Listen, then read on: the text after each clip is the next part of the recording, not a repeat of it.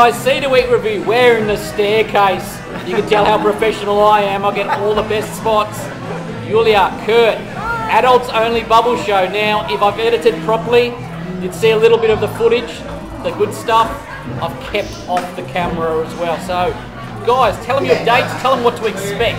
Okay, so we're starting on the 4th of uh, June.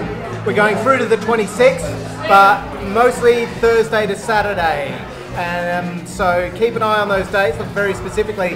Um, added bonus: if you can buy a ticket before the 4th of June and use the promo code Naughty Bubble, all one word, you get half price tickets. Should I should I put that in my notes? I think you should. All right, before the 4th of June. So you've got to I'll buy your it a- tickets before the first day. And what can people expect from the Adults Only Bubble Show who haven't seen it, who haven't seen the many sold out arenas you've had at the Adelaide Fringe Festival? I saw it. I may still buy it.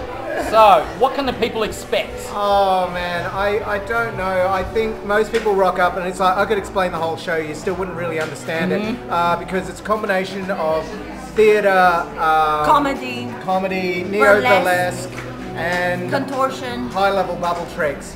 Guys, it covers many eras, many genres, and that's what I loved about that show. I might even chuck up my Adelaide Fringe review for it where I gave it five stars. It absolutely blew my mind. Not just because they're nice people, nice folks, but it's an amazing show, guys. Check it out. I'll chuck the dates up at the bottom.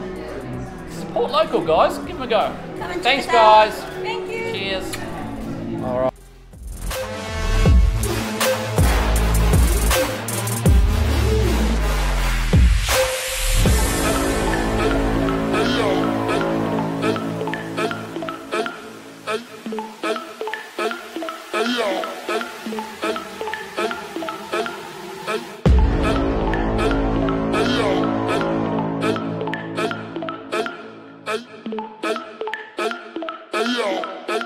أي أي